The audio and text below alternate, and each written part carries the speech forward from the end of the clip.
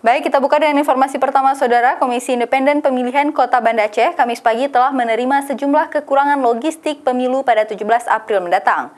Di antaranya surat suara, kotak suara, serta bilik suara untuk disalurkan ke TPS di seluruh desa di Banda Aceh menjelang pemilu mendatang. Sejumlah logistik pemilu yang masih kurang di Banda Aceh telah diterima oleh Komisi Independen Pemilihan Kota Banda Aceh, namun masih ada sejumlah logistik yang masih dibutuhkan oleh Komisi Independen Pemilihan Kota Banda Aceh, yaitu tinta serta segel dan diperkirakan akan diterima dalam beberapa hari ke depan. Namun saat ini Komisi Independen Pemilihan Kota Banda Aceh sedang melakukan rekap terkait masyarakat yang mengurus Form A5 atau Form Pindah Memilih dari alamat asal ke alamat domisili sehingga diperkirakan akan terjadi penambahan daftar pemilih tetap di kota Banda Aceh.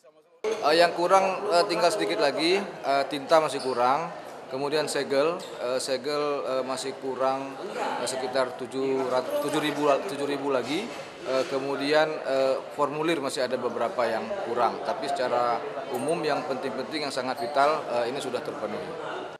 Proses penyaluran logistik pemilu sendiri di Banda Aceh akan dilaksanakan pada satu hari menjelang pemilu, mengingat lokasi yang tidak jauh dan membutuhkan waktu lama. Saat ini sejumlah logistik pemilu Kota Banda Aceh masih berada di Gedung Serbaguna Stadion Longraya Banda Aceh yang digunakan sebagai tempat penampungan logistik sementara sebelum didistribusikan. Syahril, Kompas TV, Banda Aceh.